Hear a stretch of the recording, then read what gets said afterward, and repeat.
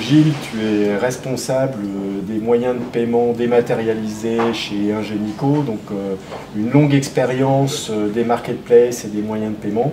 Peux-tu nous expliquer quels sont les impératifs réglementaires quand on veut transformer son site de e-commerce en un opérateur de marketplace? Euh, Notre principale recommandation, c'est qu'on passe d'un modèle où je vais encaisser euh, des flux d'argent pour de la marchandise dont j'ai la propriété à je vais encaisser des flux pour des marchandises dont je ne suis pas propriétaire. Donc la réglementation est assez simple, on est sur une logique d'encaissement pour compte de tiers.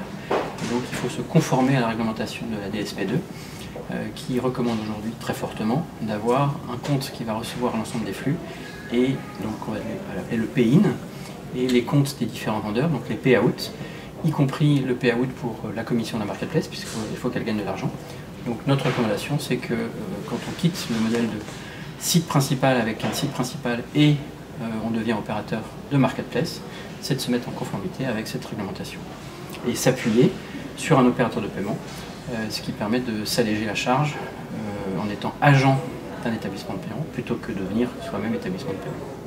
Oui, ça a l'air d'être très technique et très réglementaire, donc il vaut mieux s'adresser à un professionnel qui a déjà fait ça de nombreuses fois. C'est notre recommandation aujourd'hui, et puis euh, notre perception aujourd'hui, c'est que la force de frappe du marchand, c'est de trouver les vendeurs, trouver les produits, les mettre en avant, avoir une dynamique d'animation commerciale, plutôt que d'investir lourdement sur la partie euh, mise en conformité à la réglementation des paiements. Donc on est plutôt dans cette logique-là. Et c'est en ce sens qu'on accompagne les entreprises au sein d'Ingenico e-paiement.